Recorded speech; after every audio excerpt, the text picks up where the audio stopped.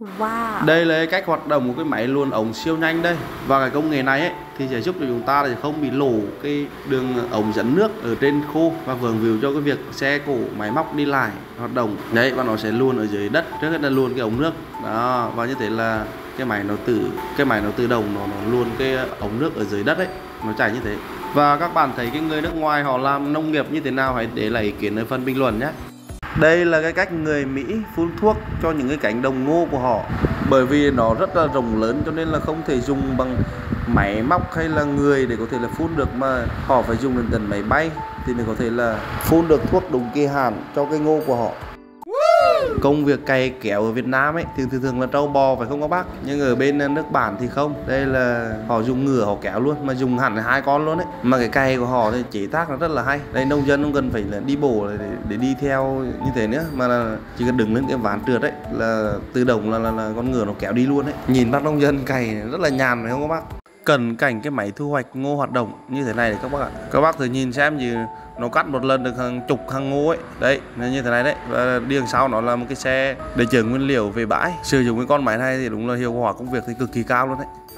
Quy trình thu hoạch cỏ ở nước ngoài thì sẽ như thế nào? Và đây là cái máy thu hoạch cỏ của họ. Và đầu vào sẽ là cái máy gặt cỏ và cái đầu ra thì sẽ là những cái viên cỏ vuông viên như thế này. Đúng là máy nó làm có khác đúng không các bác? Nhìn nó thẳng tăm tắt và vuông viên như những cái viên gạch ấy còn các bác thì nghĩ như thế nào với cái máy này? Máy thu hoạch lúa mì như thế này là đã siêu nhanh cho các bác đây cái máy này là nó, nó gặt nó bó lại luôn nhá. Đúng là công nghệ để sinh ra để làm để chúng ta nhàn hạ hơn đấy. Năng suất làm việc thì cực kỳ hiệu quả mà này. Chỉ có một người làm thôi mà gặt siêu nhanh luôn đấy. Các bác nghĩ như thế nào về hiệu quả của con máy này? Đây là cái khung cảnh quái vật bị gục ngã các bác ạ. Cả một cái xe kéo khổng lồ như thế mà đôi lúc nó cũng rớt bánh ra là chuyện bình thường. Chứ không phải là cái xe nhỏ hoặc là cái xe cũ mới mắc cái trường hợp này đâu. Kể cả xe lớn cũng gặp bình thường nhé các bác nhé không ai có thể nói trước được điều gì cả cũng may là đi với cái tốc độ chậm chứ nếu mà đi với cái tốc độ cao thì không biết là cái điều gì sẽ xảy ra nữa.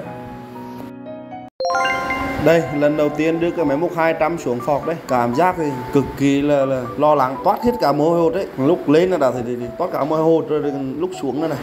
Cái này thì lần đầu tiên em làm điều ấy luôn. Từ khi học lại cái máy múc đến giờ lên có dám lên phọc với xuống phọc đâu. Phải nhờ người khác lên đấy bây giờ mà giảm để, để, để, lên phọc và xuống phọc này. Chứ bình thường mà không có cái kinh nghiệm thì không ai dám làm cái điều này đâu. Vì cái máy cái tài sản lớn mà, mà đôi lúc sai lầm một cái sai lầm nhỏ thì có thể là trả giá rất là đắt.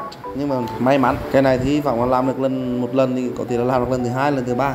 Và vô số lần nữa. Đúng không các bác? Nhờ các bác cho em một like để cổ vũ tinh thần cho em phải nhé cảm ơn tất cả các bác. Hẹn gặp lại các bác ở cái video sau nhé. Mấy anh em mà không trì được cái máy này luôn. Đấy phải nhờ đến tận máy múc mãi nó mới mới mới mới mới, mới, mới, mới có cách để, để xử lý được cái vụ này. Khổ đấy chứ. Ở đây có bác nào gặp cái trường hợp như thế này hay chưa? Đây là máy à, bọn em đang có cái máy múc nó gần đây thì mình nhờ nó nó nó, nó cho tạm dừng được. Chứ bình thường mà không thì chắc là, là cứ để cho nó nổ khi nào cho nó hết xăng thì may ra nó mới dừng lại đấy. Đúng là hy hữu. Nổ hồi nãy giờ cả tiếng đồng hồ rồi đấy.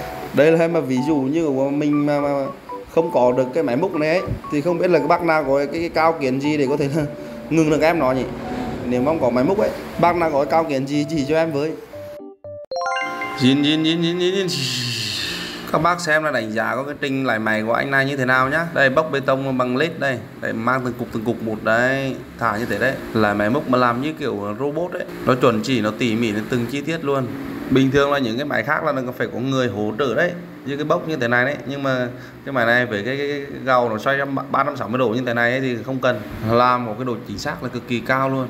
Kể cả những cái thanh gỗ nhỏ nhặt như thế này mà cũng đặt đúng chỗ luôn nhá. Bác nào mà thuê được cái máy này mà đi làm thì đúng là tiết kiệm được nhân công và tiết kiệm được cái chi phí rất là nhiều đấy. Đây, như thế này là xong rồi đấy. Lại còn có cái gầu này nó đa hình này thế, thế này này chứ. Làm thay cho công việc xe nâng luôn. Đây như thế là đi thôi đây nha đây nha, các bác xem thể hiện đấy nha đấy ui trời ơi. Đấy, thấy chưa? Ngon chưa? May mà cổ ông bà đã đứng sau đít chứ không thì là ngã mất rồi.